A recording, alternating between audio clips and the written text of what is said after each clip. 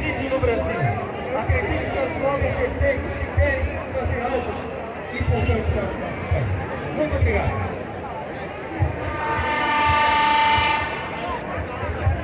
Deus céu do Brasil. Bom prazer. Aquele que é a situação da